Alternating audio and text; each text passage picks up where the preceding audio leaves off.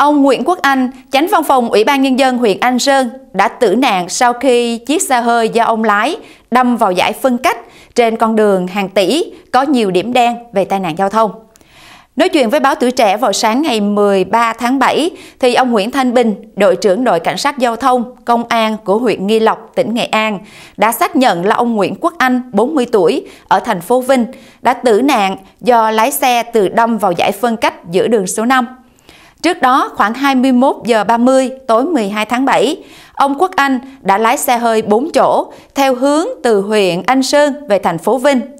Khi đến đường số 5 qua đoạn xã Nghi Thuận, huyện Nghi Lộc, thì chiếc xe hơi bất ngờ đâm vào giải phân cách giữa đường, đã khiến ông Anh bị văng ra khỏi xe chết tại chỗ. Tin cho biết là đường số 5 từ xã Hòa Sơn, huyện Đô Lương đến xã Nghi Thiết, huyện Nghi Lộc dài hơn 29 cây số do Sở Giao thông Vận tải Nghệ An làm chủ đầu tư với tổng số vốn hơn 1.200 tỷ đồng, tức hơn 10 triệu đô la, được thông xe kỹ thuật từ tháng 4 năm 2017. Tuy là đường mới làm, song bị ngành giao thông vận tải Nghệ An đánh giá là tuyến đường có nhiều điểm đen về tai nạn giao thông nhất vùng. Bởi dù được đưa vào sử dụng hơn một năm qua, nhưng nhiều vị trí trên con đường này vẫn còn thi công gian dở, chưa hoàn thiện, mặt đường có nhiều sỏi đá.